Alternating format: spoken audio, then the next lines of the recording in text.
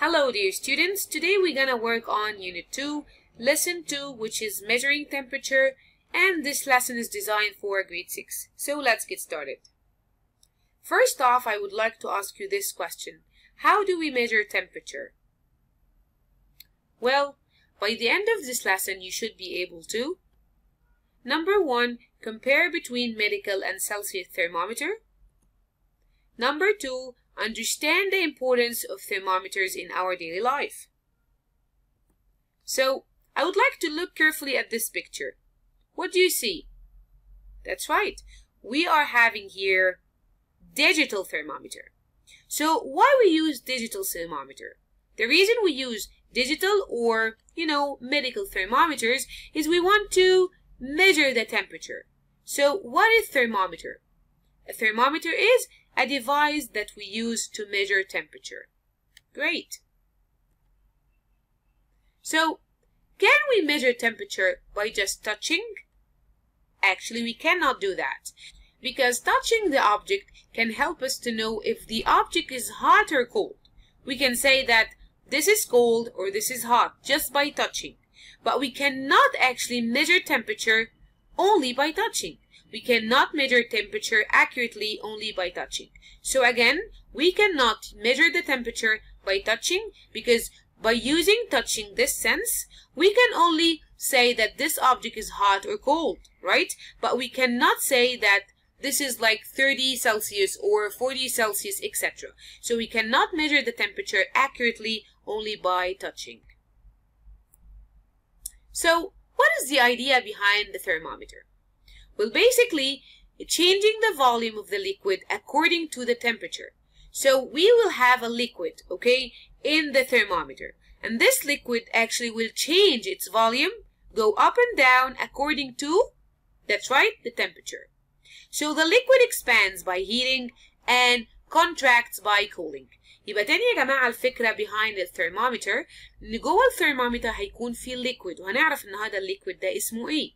والليكويد ده will change its volume الفوليوم بتاعه هيختلف according to the temperature يعني ايه الكلام ده يعني هنلاحظ ان الليكويد ده بيطلع لفوق يعني expand وده معناه ان هيبقى فيه exactly hot things وهيحصل له contracts يعني هيقل وده بسبب ان هو اتحط فيه that's right cool things يبقى again changing the volume of liquid the volume of liquid according to the temperature and the liquid expands by heating يعني هيرتفع لفوق أو هيexpand بسبب الهيت and contracts by cooling. So we have how many types of thermometer? In this unit or in this lesson, we will learn about two types of thermometers. Number one, medical thermometers. And the second type is Celsius thermometers. So what are the types of thermometers? Number one, medical thermometers and number two, Celsius thermometers. Let's look at medical thermometer. It consists of number one, glass bulb contains mercury. Number two, we have capillary tube. Number three, thick glass tube. And number four, constriction. So let's talk about each and every one in details. Number one, we said we will have a glass tube We will have a transparent glass tube ولازم يكون transparent عشان نقدر نشوف الميركوري علشان نعرف نحدد التمبerature بتاع الولد لما بيقيس حرارته right and we have a capillary tube filled with mercury جوه الجلاس تيوب عندي هنا في تيوب تانية اسمها capillary tube ودي اللي بيمشي جواها الميركوري so again we have transparent glass tube and we have capillary tube filled with mercury. The third part that we have is, that's right, constriction. We have something called constriction. And constriction is above the bulb because we said that we have glass bulb that contains mercury. And in here we have the constriction. So the question I'm having here guys is, why we have constriction above the bulb? We said that this glass bulb contains mercury, and we have something called constriction here. Why we have it?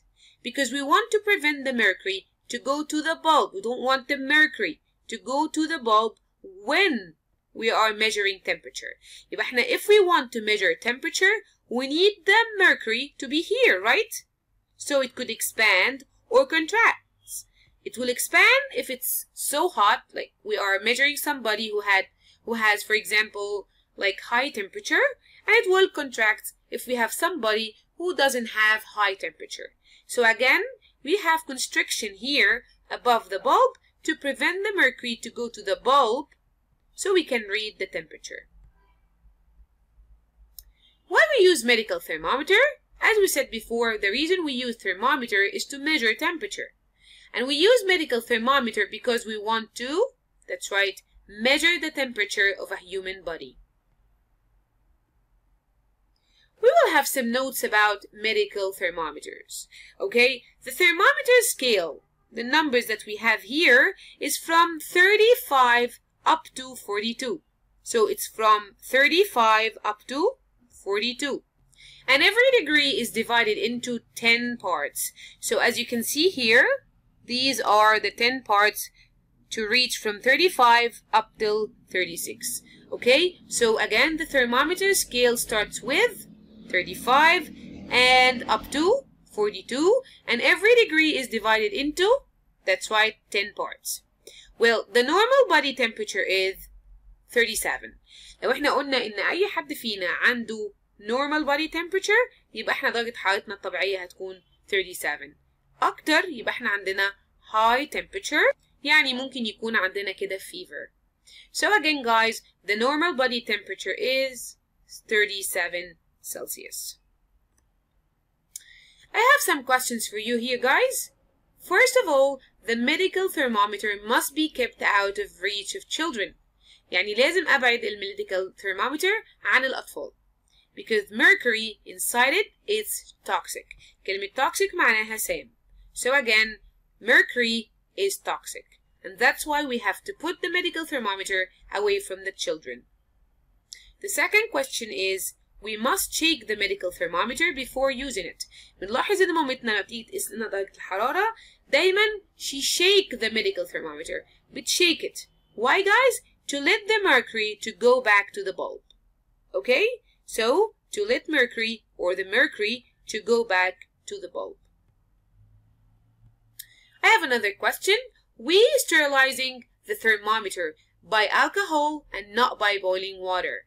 Sterilize يعني نعقم الثرمومتر بالالكحول ومش بنستخدم boiling water يعني محدش يحط يا جماعة الثرمومتر في مية سخنة عشان يعقمه you could use alcohol but you cannot use boiling water والسبب في كده mercury will expand واحنا قلنا الميركوري الليكويد ده will expand by heat صح يا جماعة great so you gonna see that the mercury will expand and the thermometer will be broken down.